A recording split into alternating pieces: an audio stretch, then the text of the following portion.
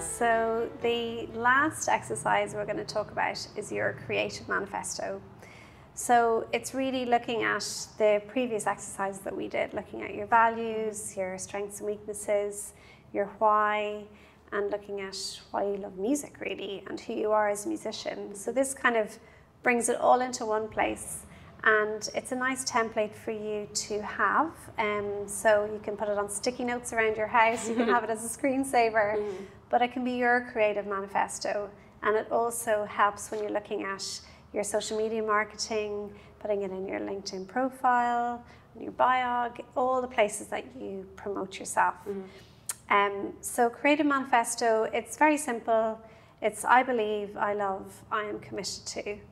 Um, so, Rachel, what do you believe is part of your creative manifesto? Um, I think one of the main things that I believe is that all people can enjoy classical music mm. and it can be accessible to everyone, not just to, I think generally people think of it as being an older generation mm. that enjoy classical music.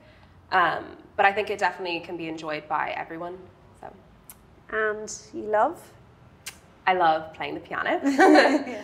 Um, and I think I love exploring pieces of music. I love the whole process of learning a piece. Mm. Um, and I love performing and communicating with an audience and connecting with them. Nice. And lastly, I am committed to. I'm committed to promoting classical music, firstly. Mm. Um, and I'm definitely committed to performing and to also improving my level, my own standard in my playing. Um, and I also think I'm committed to promoting Irish music and. Irish composers because um, I think that's really important to yeah. acknowledge who we have, what amazing composers we have yeah. in this country. So that's definitely something that I'm committed to as well. Great.